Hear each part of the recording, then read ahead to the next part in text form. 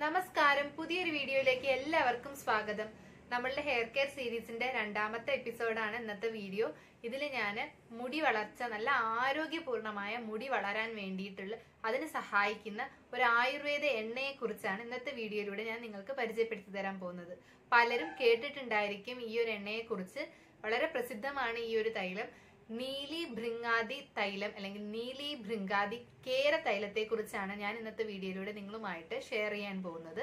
സഹസ്രയോഗത്തിലെ തൈലകൽപ്പമാണ് ഈ നീലി ഭൃങ്കാതി തൈലത്തിന്റെ റെഫറൻസ് ഉള്ളത്. ഇനി ഇതിൽ എന്തൊക്കെയാണ് അടങ്ങിയിട്ടുള്ളതെന്ന് നോക്കാം. പേര് പോലെ തന്നെ ഇതിൽ അടങ്ങിയിട്ടുള്ളത് നീല അമരിയാണ്. രണ്ടാമത്തെ ഇൻഗ്രീഡിയന്റ് ഭൃംഗം അതായത് ഭൃംഗരാജം. കയ്യോന്നി. ഭൃംഗം എന്ന് പറഞ്ഞാൽ കരിവണ്ട് എന്നാണ് അർത്ഥം. കരിവണ്ടിനെ പോലെ കറുത്ത മുടി വര വളരാൻ സഹായിക്കും എന്നുള്ളത് കൊണ്ടാണ് ഭൃംഗരാജം അല്ലെങ്കിൽ കയ്യോന്നിക്ക് ഭൃംഗം എന്ന പേര് പറയുന്നത്.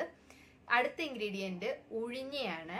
ഉഴിഞ്ഞ ദശപുഷ്പത്തിലൊക്കെയുള്ള ഒരു ചെടിയാണ് ഉഴിഞ്ഞ. അടുത്തത് പച്ച നെല്ലിക്കയാണ്. പച്ച നെല്ലിക്ക. അടുത്തത് കുന്നിക്കുരുവാണ് കുന്നിക്കുരുവിന്റെ വേരാണ് നമ്മൾ ഇതിൽ ഉപയോഗിക്കുന്നത്.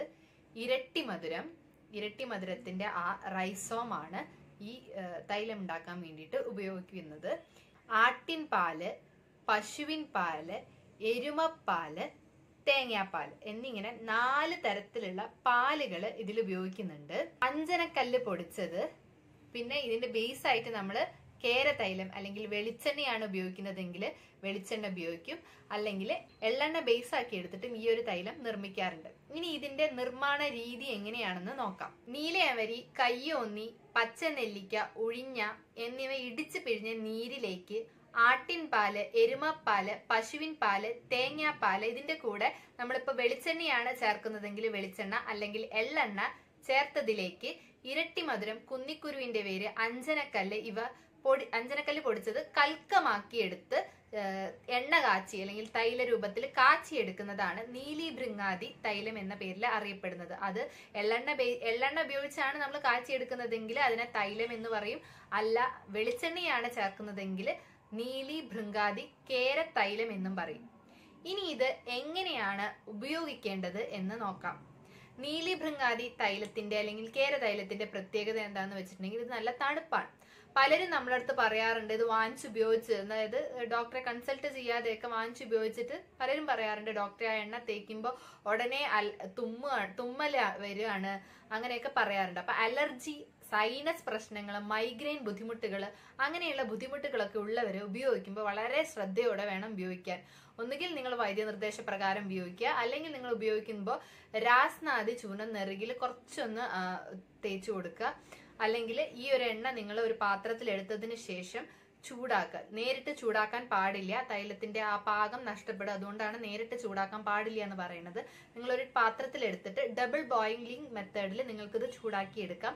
തിളച്ചുകൊണ്ടിരിക്കുന്ന അല്ലെങ്കിൽ തിളച്ച വെള്ളത്തിലേക്ക് ഒരു പാത്രത്തിൽ കുറച്ച് തൈലെടുത്ത് അതിന്റെ മേലെ വെച്ചിട്ട് ചൂടാക്കാം.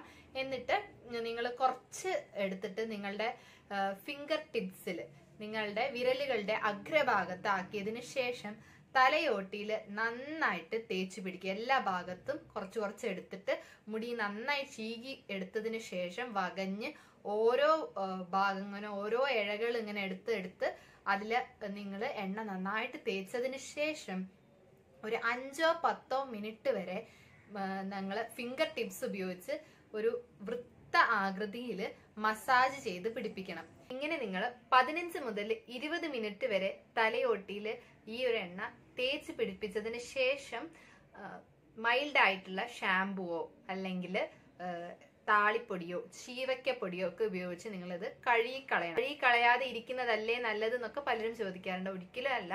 എണ്ണ കഴുകിക്കളയണം. എണ്ണ അങ്ങനെ മുടിയിൽ നമ്മൾ തേച്ച് വെക്കുന്ന സമയത്ത് പൊടിയൊക്കെ തട്ടിയിട്ട് സ്കാൽപ്പ് ക്ലോഗ്ഡ് ആയിട്ട് ആ ഒരു നമ്മളുടെ ഹെയർ റൂട്ടൊക്കെ വൃത്തിഹീനമായാനും അപ്പൊ ആ കുറച്ച് ഡസ്റ്റും പൊടിയും ഒക്കെ നമ്മളുടെ തലയോട്ടിയോട് ഇങ്ങനെ ഒട്ടിച്ചേർന്നിരിക്കും. അതായത് ഹെയർ റൂട്ടിനോട് ഒട്ടിച്ചേർന്നിരിക്കുമ്പോൾ അതിങ്ങനെ കട്ട പിടിച്ച് നിൽക്കും. പിന്നെ നമ്മൾ മുടി ഇങ്ങനെ ശക്തിയിൽ ചീകുന്ന സമയത്തൊക്കെ മുടി വേരോടെ പൊഴിഞ്ഞു പോകാനുള്ള സാധ്യതയുണ്ട്. അപ്പൊ അങ്ങനെ എണ്ണ നമ്മളുടെ മുടിയിൽ വെക്കുന്നത് അത്ര നല്ല കാര്യമല്ല. നമ്മൾ തേച്ചിട്ട് കുറച്ച് സമയം കഴിഞ്ഞതിന് ശേഷം അത് നന്നായിട്ട് താളിപ്പൊടിയോ ശീവയ്ക്കപ്പൊടിയോ അല്ലെങ്കിൽ മൈൽഡ് ആയിട്ടുള്ള ഷാമ്പൂ ഉപയോഗിച്ച് നിങ്ങൾക്ക് കഴുകി കളയാവുന്നതാണ് ഇങ്ങനെ നിങ്ങൾക്ക് ഒന്നിടവിട്ട ദിവസങ്ങളിൽ ഏകദേശം ഒരു മൂന്ന് മാസക്കാലം നിങ്ങൾ ഇങ്ങനെ ഹെയറിൽ ഒരേ എണ്ണ ഉപയോഗിച്ചാൽ മാത്രമേ ആ എണ്ണ ഉപയോഗിച്ചിട്ട് നിങ്ങൾക്ക് മുടി വളർച്ചയുണ്ടോ? അല്ലെങ്കിൽ മുടിക്ക് നല്ലതാണ്? എന്നൊക്കെ തിരിച്ചറിയാൻ പറ്റുകയുള്ളൂ. പിന്നെ നിങ്ങൾ തലയോട്ടിയിൽ മുടി ഇങ്ങനെ നന്നായിട്ട് മസാജ് ചെയ്ത് പിടിപ്പിക്കുന്നതോട് കൂടി കുറച്ചൊരു സ്വല്പം എടുത്തിട്ട് മുടിയുടെ അഗ്രഭാഗത്തും അതായത് അറ്റങ്ങളിലും കുറച്ചൊന്ന് തേച്ച് കൊടുക്കണം. അതായത് സ്പ്ലിറ്റൻസ് ഒക്കെ കുറയ്ക്കാൻ അങ്ങനെ നമ്മൾ കുറച്ചൊന്ന് എണ്ണ തടവി കൊടുക്കുന്നത് നല്ലതാണ്. എണ്ണ ഉപയോഗിച്ചത് കൊണ്ടുള്ള ഗുണങ്ങൾ എന്തൊക്കെയാന്ന് നോക്കാം. ഈ എണ്ണയിൽ ഉപയോഗിച്ചിട്ടുള്ള കാര്യങ്ങളൊക്കെ തന്നെ മുടിയുടെ ആരോഗ്യപൂർണമായ വളർച്ചയ്ക്ക് സഹായിക്കുന്നതാണ്. കാലനിരയൊക്കെ കുറയ്ക്കാൻ ഇതിൽ ചേർത്തിട്ടുള്ള അഞ്ജനക്കല്ലൊക്കെ നല്ലോണം സഹായിക്കും. കാരണമൊക്കെ ഒരു പരിധി വരെ കുറയ്ക്കാനും ഈ ഒരു തൈലം സഹായിക്കും. അങ്ങനെ മുടി നല്ല ആരോഗ്യത്തോടെ വളരാൻ സഹായിക്കുന്ന നല്ലൊരു ആയുർവേദ എണ്ണയാണ് നീലി ഭൃങ്കാതി തൈലം. പലരും കേട്ടിട്ടുണ്ടായിരിക്കാം ഇതിനെക്കുറിച്ച്. അപ്പൊ വളരെ സൂട്ടബിൾ ആയിട്ടുള്ള എണ്ണയാണ്. സൈനസ് പ്രശ്നങ്ങൾ അലർജിക് ആയിട്ടുള്ള ആളുകൾ അതുപോലെ മൈഗ്രെയിൻ ബുദ്ധിമുട്ടുകളൊക്കെ ഉള്ളവർ ഉപയോഗിക്കുമ്പോൾ വൈദ്യനിർദ്ദേശപ്രകാരം ഉപയോഗിക്കുക.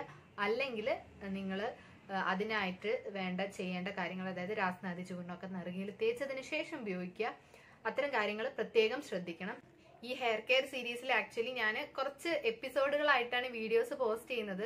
അപ്പം നിങ്ങൾ ഇടയിൽ വീഡിയോ കണ്ടിട്ടുണ്ടെങ്കിൽ ചിലപ്പോൾ നിങ്ങൾക്ക് ആ ഒരു കണ്ടിന്യൂറ്റി കിട്ടി കിട്ടുന്നുണ്ടാവില്ല. അപ്പം നിങ്ങൾ തുടക്കം മുതലുള്ള എപ്പിസോഡ്സ് ഒരുമിച്ച് കാണുകയാണെങ്കിൽ നിങ്ങൾക്ക് നല്ലൊരു ഐഡിയ കിട്ടും. മുടി വളർച്ചയ്ക്ക് അല്ലെങ്കിൽ മുടിയുടെ ആരോഗ്യപൂർണമായ വളർച്ചയ്ക്ക് എന്തെല്ലാം കാര്യങ്ങൾ ശ്രദ്ധിക്കണം എന്തെല്ലാം കാര്യങ്ങൾ ചെയ്യണം എന്നുള്ളത് അപ്പൊ തുടർച്ചയായിട്ട് മുടങ്ങാതെ കാണുകയാണെങ്കിലാണ് നിങ്ങൾക്ക് അതിനെക്കുറിച്ചൊരു ഐഡിയ കിട്ടുകയുള്ളൂ. അപ്പൊ ഓരോന്നും ഓരോന്നും ഞാൻ തൊട്ടടുത്ത ദിവസങ്ങളിൽ തന്നെ പോസ്റ്റ് ചെയ്യാൻ ശ്രമിക്കുന്നുണ്ട്. അപ്പോൾ വീഡിയോ ഉപകാരപ്രദമായി തോന്നുകയാണെങ്കിൽ മറ്റുള്ളവർക്ക് കൂടി ഷെയർ ചെയ്ത് കൊടുക്കുക. ഇഷ്ടപ്പെട്ടാൽ ലൈക്ക് ചെയ്യാൻ മറക്കരുത്. മറ്റൊരു എപ്പിസോഡിൽ വീണ്ടും കാണാം. അതുവരെ നമസ്കാരം.